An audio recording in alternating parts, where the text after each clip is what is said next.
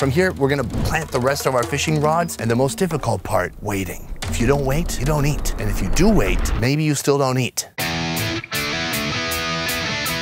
The last time I went to Japan, it was not just Kobe steaks and sushi. I hunted down the country's most elusive, aggressive, sharp-toothed predator. Oh, what the? Now I'm in Vietnam, taking on an even bigger challenge. This is how evolution began. Today on the Best Ever Food Review Show, me and my little companion will attempt to hunt down one of nature's most fierce creatures, the mudfish. Today, with the help of some skilled locals and my loyal puppy Bonmi, I'm heading into the wild. The smell. Aiming to hunt down a vicious prey, a creature who lives in an extreme, unforgiving environment. How any fish could live in this is beyond me. But is it worth it? Could this slimy, mud-dwelling monster actually be delicious? Is it good? I'm about to find out. Let's go. You ready? Do you see a fish? Do you see a fish? All right, let's go.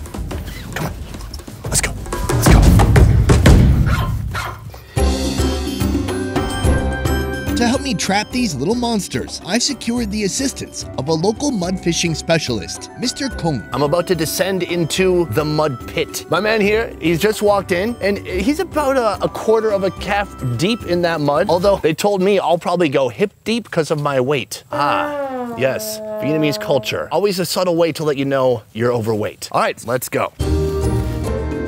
This is today's hunting ground. The mud is muddy. Just a one hour drive from the mega city of Saigon. It's very thick. In this very unique ecosystem, Ugh, following you, Chief. you can find a grody little guppy like no other. How any fish could live in this is beyond me. Evolution's missing link.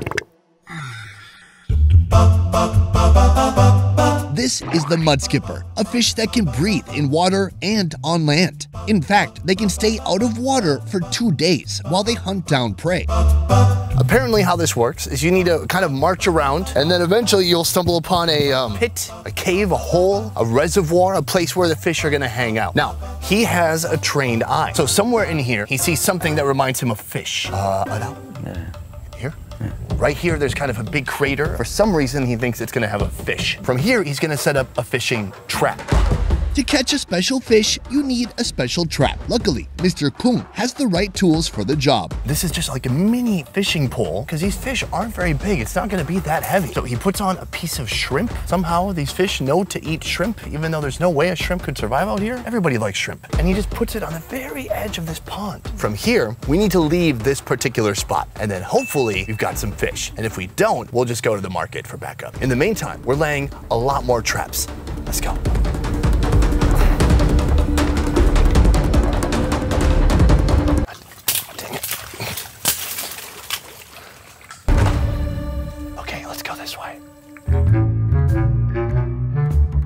We've upon our second hole. This one looks like a nice hole. I mean, it's got a nice shape, lots of fun crevices for the fish to probably slide in. This fish burrows holes like these to hide from predators. But while they're hanging out, they can do a little mating too. That's right, this is a love hole. You can even see here is a, a little path that the fish has made. To travel around, the mud skippers use their pectoral fins, leaving a trail behind them. So he's taking out another rod. I think I'm gonna do this one. I'll take the hook and I unhook it, take a little piece of shrimp, put that on there. So I'm gonna get this part in the mud and gently lay it here. Now I'm curious, this is a small puddle. Why don't you just reach your hands in there and just scrape and then hope that you get a fish? So, sâu lắm These muddy tunnels are actually pretty deep, and the mud skipper digs them up by eating the mud, then spitting it out, literally using its mouth like a shovel. We're gonna put about 15 more of these rods down. About how many fish do you think we'll catch? năm bảy con nha không chừng Really? Whoa. What do you say?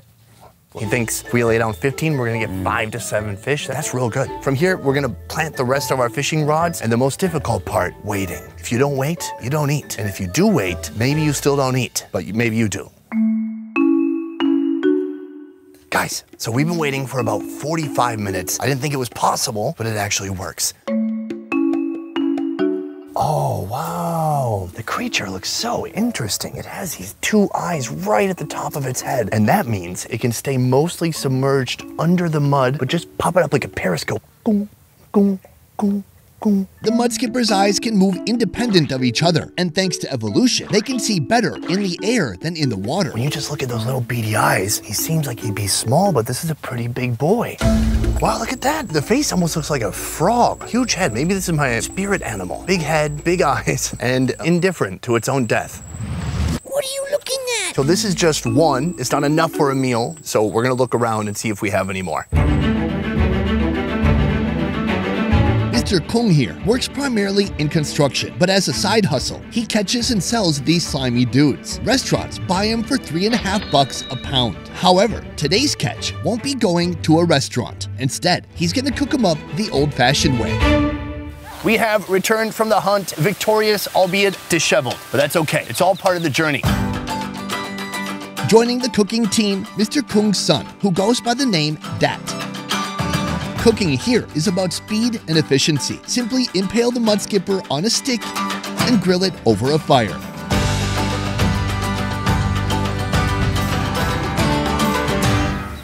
Here we have uh, roughly 10 of these mud skippers. They look terrifying.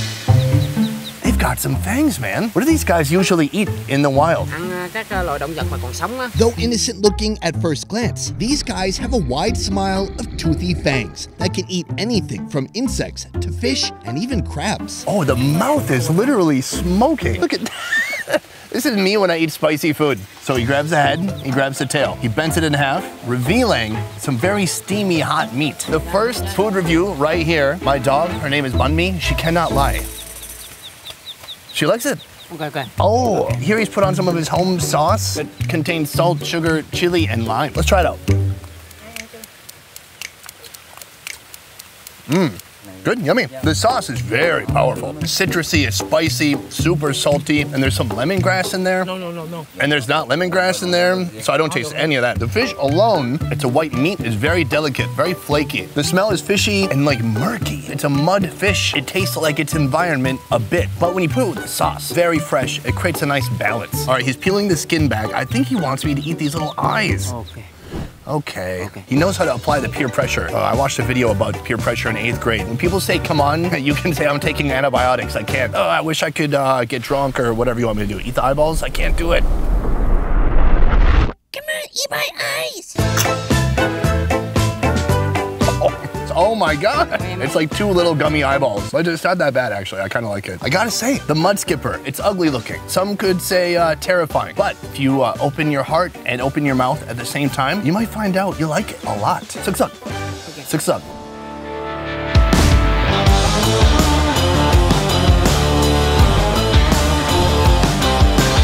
In order to see the mud skipper reach its highest potential, I'm heading here. A countryside restaurant where Miss Bunt, the queen of mudfish, cooks them up like no other. We have just arrived at our next location. They literally have every type of seafood you could imagine. They have they have four types of seafood you could imagine. But right here, this is what we've come here for. Here they have a bunch of different ways they can cook this local delicacy. We're gonna find out how in a second. First, I gotta catch dinner again. So what you want to do is you want to kind of get up under its armpits, give it a gentle squeeze, and uh, flap. All right, let's try that again. What? This is harder than the actual fishing. Do you have a tiny fishing pole? Okay, I'm told she usually uses a net. Okay, I'm gonna try to net them. That should be easy enough. Let's go.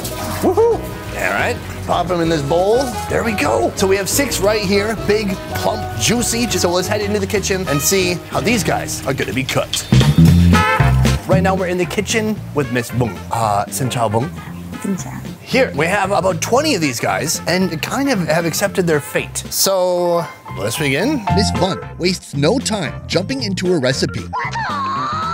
She starts by dispatching the mud skippers, And that is done by breaking its neck, like Jean Claude Van Damme. then removing the inedible bits, off with the nose, off with the fin, off with the gills. then the organs. Why don't you eat these organs? Cái nội tạng nó sẽ bị hôi. All that hanging out in mud seems to affect the flavor of their organs, kind of like why my liver would taste like Jack Daniels. From here, the skinning. Our first dish is caramelized mud skipper. For this stewed dish, the skin is removed so all the seasonings can penetrate deep into the meat. So we have two mud skippers right here, ready to be cooked, ready to be seasoned. Ugh!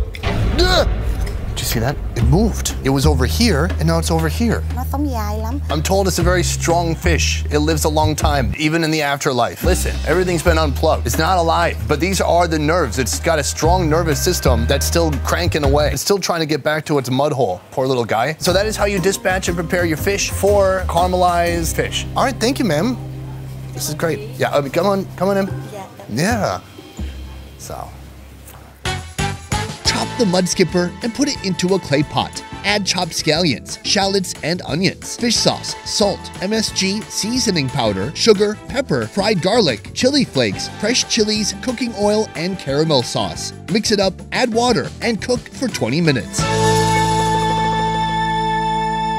Here in front of me, two different preparations, quite different in style. You can see this one, it looks like it could be anything. Any number of fish that have been skinned and chopped into little pieces. But when you look over to here, things change a bit. I was told it was fried. I was hoping the frying would like, help kind of hide the insane visual of this fish, but in fact, it's exacerbated it. But can I say, these guys, have great teeth. Look how white these teeth are. The Rock couldn't get his teeth this white. Can we look at The Rock real quick? Yeah, those are some white teeth. So if I gotta choose, I'm gonna start here, caramelized mud skipper. Let's go for it. Oh, I gotta say, that's real good. Meat tastes clean. You'd never know this was a fish from the mud, but really bold flavors. Sweet, savory, and just this beautiful, thick caramelized sauce on here. I thought this would be complicated to eat because of all the bones, but it turns out the meat has become so soft and tender, it just pops right off. And the best part is uh, it's not moving. So that is dish one. Next, the fried mud skipper. The mud skippers get deep fried until golden brown. When they start to resemble horrifying alien creatures, they're ready to eat. To cut through some of this heavy, oily fish, we have some sweet, succulent tamarind sauce. Let's try it out.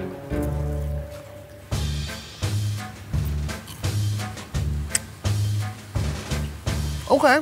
It's pretty good. It's meaty, and it would be cool if there was like a crunch to it. But overall, compared to how terrifying it looks, I like the taste. I gotta say, I've been with these fish from the beginning of the day, so I've seen this whole process. But if you just went to a restaurant and this is all you saw, you would understandably be freaked out. And that's why you can never judge a book by its face. If you go to a bookstore and you look at the book's face and you look at the book's teeth, it would be tempting to judge it. But this book, although it may be hideous and ugly, it's a tasty book. Finally, I'm gonna feed the dog a little bit of fish, and then she can decide if she likes it. All right, Bonnie, eat this and act indifferent if you really like it. Wow, you don't get much more indifferent than that. She loves it. This creature, it lives only about two hours from where I live, and I had never seen it before. It's the type of creature that would be easy to go your whole life and pass by, because it's really tough to get to, especially to hunt it. You have to be absolutely dedicated. So for you guys, if you have the chance to go hunting for Mudskipper, I highly suggest it. And you can even be sober, but you don't have to be. Merch alert! This is for all you head to tail adventurous eaters. Always down for trying something new. No waste, more taste. Only available to the end of March. Now we've seen like kind of the local, super straightforward, simple countryside preparation. Now we're in a kitchen. They have a lot more facilities. They have things like salt, perhaps a, a pot. It's a lot you could do with that. Oh, you can see him walking. That's so crazy. It's like somebody in a wartime scenario got their legs blown out and they're just using their arms and they're pulling themselves along the mud. That's what this guy is like, but you know, more like a fish. Oh, aha, this one. This one still has a will to live. That's fine. Everything's fine. Can I be straightforward with you guys? We put some other dogs in dog jail so my dog can hang out with me and eat. Worth it. Screw those dogs. You're gonna be a star and make me lots of money. Guys, I hope you enjoyed this deep dive into Vietnam's mud skipper fish. I know I did, except for the actually catching it and going in the mud and like doing stuff, but eating, eating was great. That was the best part for me. Guys, that is it for this one. Thank you so much for watching. We will see you next time. A peace. All right. I'm gonna find a frog skipper, maybe. Dolphin skipper, tuna skipper. There are other animals that skip. Can you eat them? I'm gonna look into this.